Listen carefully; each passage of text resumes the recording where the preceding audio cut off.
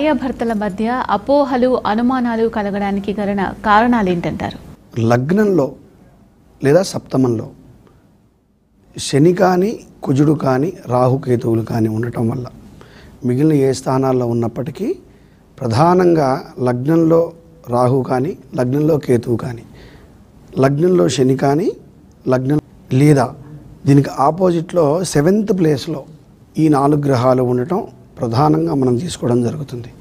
ప్రధానంగా ఈ నాలుగు గ్రహాల్లో ఏ గ్రహం ఉన్నప్పటికీ కొంత ఇందాక కూడా చెప్పాను అపోహ అంటే లేనిది ఉన్నట్లుగా భావించుకునే తత్వాన్ని ఆ యొక్క గ్రహస్థితి వల్ల పొందగలుగుతారు. ఈ ఎవరంటే భార్య జాతకంలో ఇది ఉందనుకోండి భర్త పొందుతాడు అలా.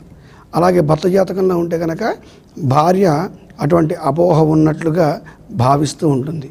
అలాగే ఇక్కడ ప్రధానంగా ఈ శని కుజగ్రహాల వల్ల తప్పనిసరిగా మోహము ఇందా చెప్పాను మోహము అంటే వాళ్ళు చేసే పనిలో ఉన్నటువంటి ఆచరణలో ఉన్నటువంటి భేదాభిప్రాయాలు.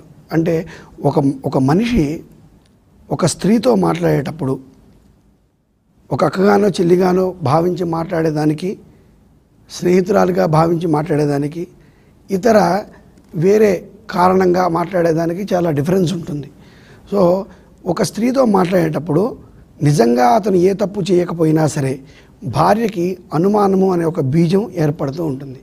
ఏమిటి అనుమానం? ఎలా ఏర్పడుతుంది అంటే అతని యొక్క ముఖ కవళికలు ప్రవర్తన అతని భాష అతని యొక్క నేచర్ ఈ నాలుగిటిని ఆధారంగా తీసుకొని ఈవిడ అనుమానించడం జరుగుతుంది. ఇది ప్ర జనరల్గా మనం మాట్లాడేది. కానీ అతను అలా మాట్లాడడానికి కారణం మాత్రం నూటికి నూరు పాళ్ళు కుజుడు శుక్రుడు మాత్రమే కారణం. అలా మాట్లాడి ఆ భార్యాభర్తల మధ్యలో విభేదాలు కలిగి ఒకవేళ ఏదైనా మనస్పర్ధ రావాలి అంటే అపోహలు కలగాలి అంటే అనుమానాలు తలెత్తాలి అంటే ప్రధానంగా కుజుడు శుక్రుడిని మనం తీసుకుంటూ ఉంటాం. శుక్రుడే వివాహకారకుడు శుక్రుడే కలత్రకారకుడు శుక్రుడే ప్రధానం వివాహానికి తొమ్మిది తొమ్మిది నుంచి పన్నెండు రాసుల వరకు కూడా. ఎందుకంటే మొట్టమొదట మూడింటిని తీసేస్తాం. వన్ టూ త్రీ తీసేస్తే ఫోర్త్ ప్లేస్ నుంచి లెక్క పెట్టుకుంటే లెవెన్త్ ప్లేస్ వరకు కూడా. తప్పనిసరిగా మనకి శుక్రుడు ప్రధానంగా తన యొక్క ప్రభావాన్ని చూపిస్తూ ఉంటాడు జాతకంలో ఈ యొక్క భార్యాభర్తల మధ్య అన్యోన్యతకు సంబంధించి. అటువంటి శుక్రుడు తను ఉండకూడ కూడని ప్రదేశంలో ఉండకూడని గ్రహంతో పాపగ్రహంతో గనక సంచరిస్తూ ఉంటే పాపగ్రహ వీక్షణ గనక దృష్టి గనక ఆ శుక్రుని మీద గనక ఉండి ఉంటే ఆ శుక్రుడు సప్తమాధిపతి కానీ లగ్నాధిపతి కానీ అయి ఉండి ఉంటే తప్పనిసరిగా వీరిద్దరి మధ్య అపోహలు అనుమానాలు నూటికి నూరు రూపాయలు తలెత్తుతాయి. వాటిని పోగొట్టుకోవడానికి కావలసినటువంటి శక్తి వీరికి ఏమిటంటే ప్రధానంగా మనకు కుజుడే దీనికి సుబ్రహ్మణ్యేశ్వర స్వామి అధిపతి అండి. అంటే సుబ్రహ్మణ్యేశ్వర స్వామి ఆరాధన భగవదారాధన.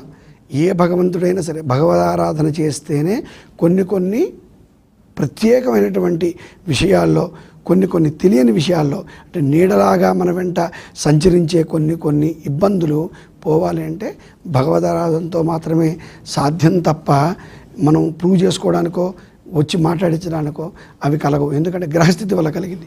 సాధారణంగా అన్ని గ్రహాలు శుభగ్రహాలు అన్నీ కరెక్ట్గా ఉండి పాపగ్రహాలు నీచగ్రహాలు మిత్రగ్రహాలు శత్రుగ్రహాలు వావి ఉండవలసిన స్థానంలో ఉండి గనక అపోహలు ఏర్పడితే గనక ఇందాక ఆవిడ చెప్పినట్టుగా ఏ సారీతోనో ఏ క్షమాపణతోనో ఏ రెండు మూడు రోజుల తర్వాత వారి వారి పనుల్లో పడి మర్చిపోవడానికి అవకాశం ఉండదు. కానీ ఈ యొక్క కుజశుక్రుల యొక్క ఈ ఫోర్త్ ప్లేస్ నుంచి లెవెన్త్ ప్లేస్ వరకు ఎక్కడైనా ఉన్నప్పుడు వాటి యొక్క ప్రభావం మిగిలిన గ్రహాల ప్రభావం వీటి మీద పడితే కనుక ఎటు పరిస్థితుల్లో అపోహలు అనర్థాలు జరగడానికి అవకాశం ఎక్కువ.